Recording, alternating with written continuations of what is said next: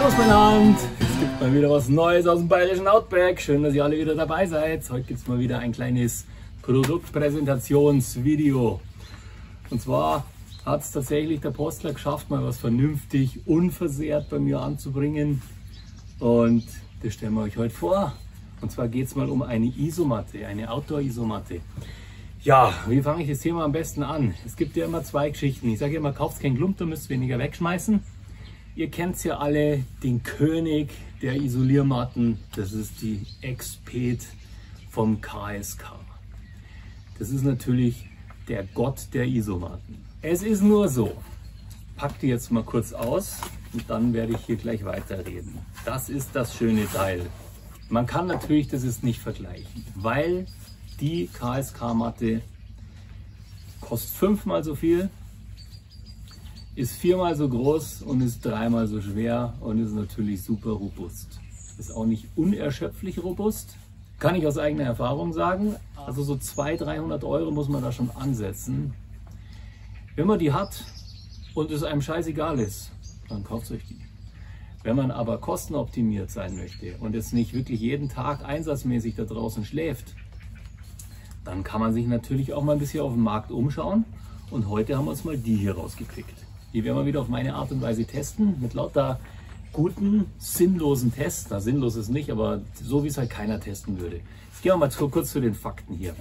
Die Firma Alpenwert, nicht Alpenwelt, nicht Alpenwuwu, nicht Alpen sonst irgendwas, sondern Alpenwert.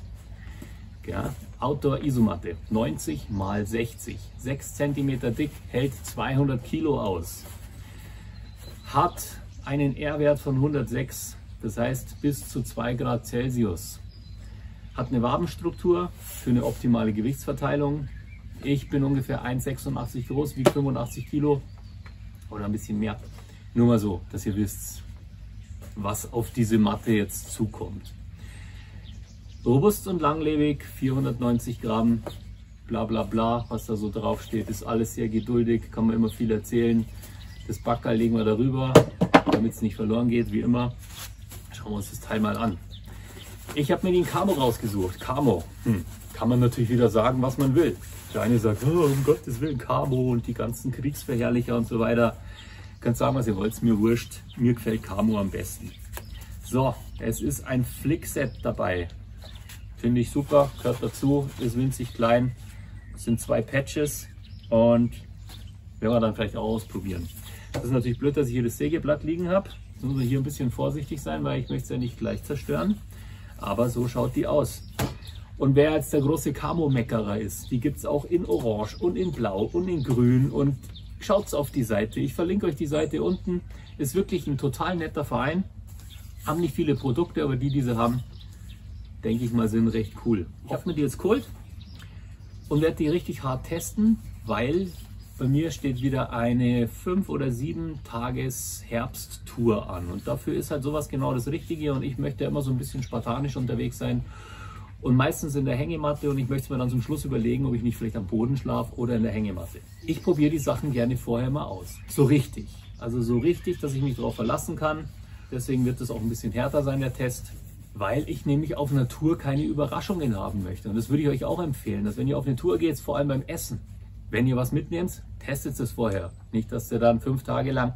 Und wenn ihr neues Material habt, dann testet es auch vorher. Geht nicht auf die Tour und testet es auf der Tour, sondern nehmt es und dann probiert es gescheit aus. Und am besten ist es, probiert es im Laden schon aus. Ja? Wenn ihr euch einen Stuhl kauft, dann hockt euch da 25 Mal drauf, springt ein bisschen drauf rum, so dass euch keiner sieht, aber dann wisst ihr, ob der Stuhl was taugt. Soll keine Anleitung sein für Profis wie uns. Jetzt geht's zur Isomatte. Was werden wir machen? Wir gehen jetzt rüber zum Redneck Pool, blasen die gescheit fett auf, legen die ins Wasser und dann springe ich einfach mal voll drauf und dann sehen wir mal, ob die Nähte halten und ob das Ventil hält. Das wäre Test Nummer 1. Viel Spaß bei diesem Video. Ja, also noch kurz was dazugefügt. Wie gesagt, ein bisschen vorsichtig sein wegen den Sägeblättern. Ähm, so schaut sie aufgeblasen aus. Wir hat ein richtig schönes großes Ventil, das kann man so auf zwei, hier sieht man das kann man so auf zweimal aufmachen, einmal zum Reinblasen, einmal komplett auf, dann geht die Luft wieder raus. Ich habe jetzt glaube ich fünfmal Lungenvolumen da reingeblasen und dann war sie schon ziemlich, ziemlich, ziemlich stark.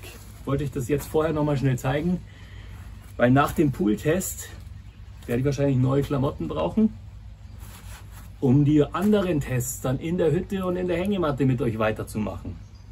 Ja, bis gleich am Redneck Pool.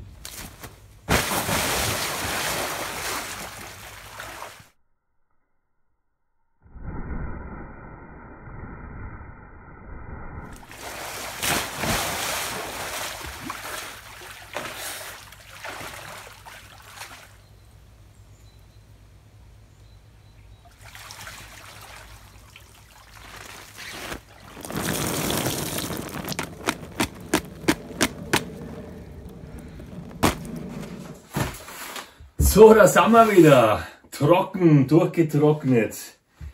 Und alle Tests bisher soweit bestanden. Jetzt kommen wir mal zu den, zu den wirklichen drauf schlafen und Übernachtungstests. Ich werde jetzt zwei Nächte drauf schlafen. Die erste Nacht da hinten auf der Holzpritschen. Da werden wir ein paar Kieselsteine die werden wir einfach drunter schmeißen und werden schauen, ob sich die durchdrücken und ob sie Luft verliert und so weiter. Und zwar genau so, wie sie da ist. Ich habe schon ausprobiert, man muss sich gleichmäßig drauflegen, es ist klar, aber das ist bei jeder Isomatte so, dass wenn ich mich jetzt mit dem Ellenbogen hier drauf stütze, dann komme ich natürlich durch. Wenn ich mich aber flach drauflege, dann ist es so stabil, dann kommt da gar nichts durch.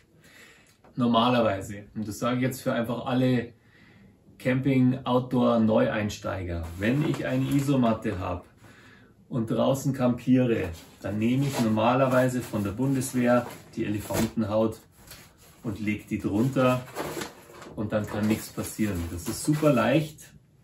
Das kann man einfach überall mit dazu packen. Das ist die robusteste und stabilste Plastikplane, die es eigentlich so gibt. Wer die nicht kennt, macht euch mal schlau weil das ist auch wieder ein Geheimtipp. Das müsst ihr einfach haben. Die Nässe-Schutzplane 8465230199147. Hergestellt Firma Schara. Grundausstattung Militär ist in jedem Rucksack mit dabei. Das werden wir jetzt hier nicht machen, weil ich möchte einfach knallhart, gnadenlos diese Matte testen. Erste Nacht, Pritsche.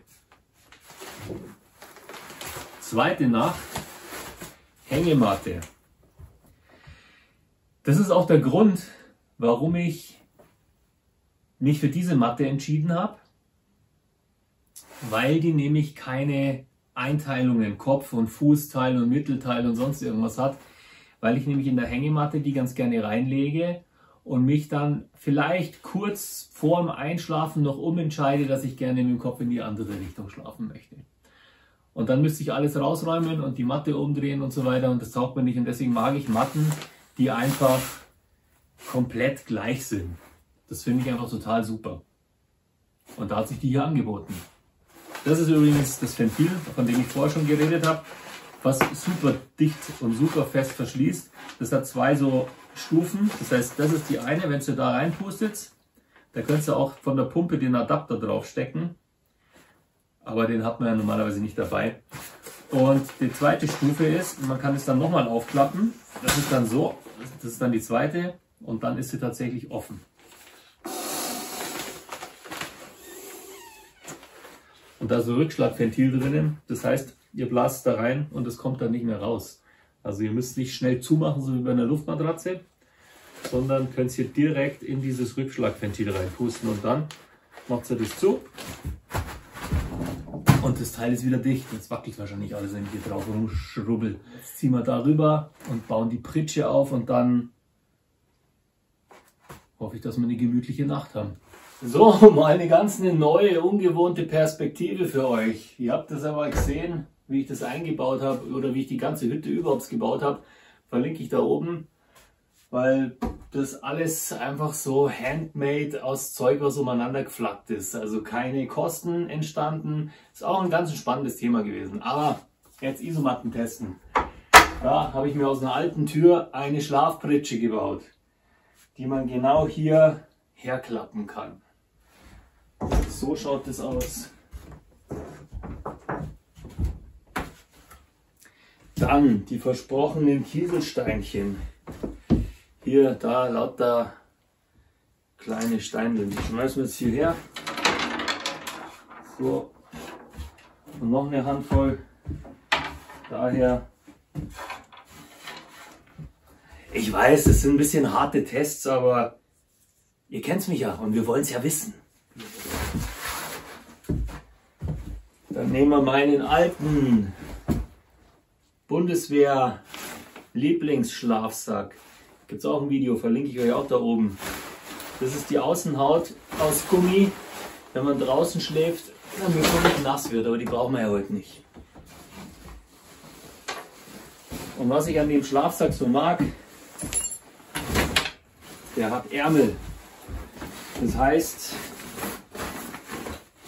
man kann zu jeder Zeit durchgreifen und einen Kaffee trinken oder seine Waffe sich schnappen oder was auch immer man in der Nacht zuvor hat. Das wird jetzt ganz spartanisch. Da schlupfe ich dann rein und dann sehen wir uns morgen früh wieder.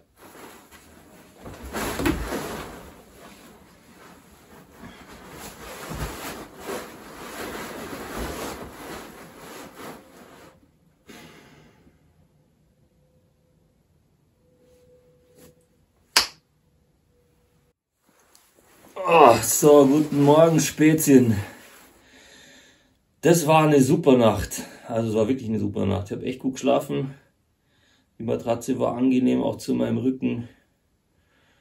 Und wir haben es natürlich wieder übertrieben mit den Steineln. Und die tun wir jetzt raus.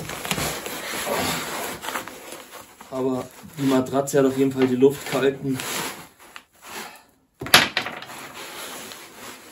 Und ach, ich bin in der Früh immer recht wortkarg, aber das denke ich mal, wisst ihr schon.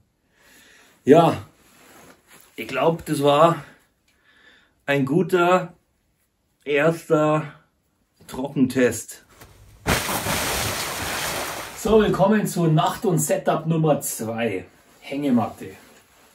Ich habe ja mal ein Video gedreht, wie ihr die ultimative Hängematte oder das ultimative Hängematten-Setup aus einer günstigen Hängematte machen könntet. Mit dieser Stange verlinke ich euch da oben oder da oben, je nachdem. Die hängen wir jetzt hier auf und dann verbringen wir die zweite Nacht da drinnen.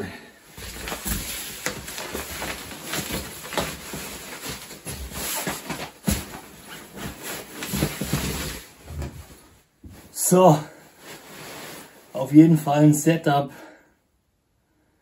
das mir grundsätzlich schon mal viel lieber ist. Ich bin einfach ein Hängemattenschläfer, ich mag das einfach total gerne. Also ich wünsche euch ein gutes Nächtle. Wir sehen uns morgen früh. Oh, jetzt muss ich echt den blöden Scheinwerfer da ausmachen und dazu muss ich aufstehen. Guten Morgen beieinander. Ja, Ähm, von der Matratze her habe ich super geschlafen. Aber es war heute Nacht so laut, der Regen hat aufs Dach gescheppert und die Viecher sind draußen umeinander kupft und haben rumgeschrien. Das ist echt brutal gewesen. Aber die Luftmatratze hat auf jeden Fall ihre Tests bestanden. Die ganzen anderen Härtetests hat sie natürlich auch bestanden, das wisst ihr ja schon falls ihr mal eine Sonntagsmatte erwischt, also die wirklich irgendwie eine Macke hat oder einen Materialfehler, davor ist man ja auch nie gefeit, gibt sogar 100, ja, 100 Jahre, gibt sogar 100 Tage Garantie. Das habe ich ganz vergessen zu sagen. Also, wenn ein Problem ist, die haben wirklich einen super Service und 100 Tage Garantie. Werde ich nicht in Anspruch nehmen müssen, da ich wirklich zufrieden bin damit. Ja, und ich würde auch das jetzt halt hier so als als Abschiedswort nehmen, weil ich brauche jetzt einen Kaffee. Ah, dann brauche ich irgendwie ein bisschen frische Luft und frisches Wasser. Kauft kein Klump, müsst weniger wegschmeißen. Habt ein wunderschönes Wochenende. Ich werde jetzt noch ein bisschen die Berge genießen. Mit frischer Energie in den Tag hinein. Bam!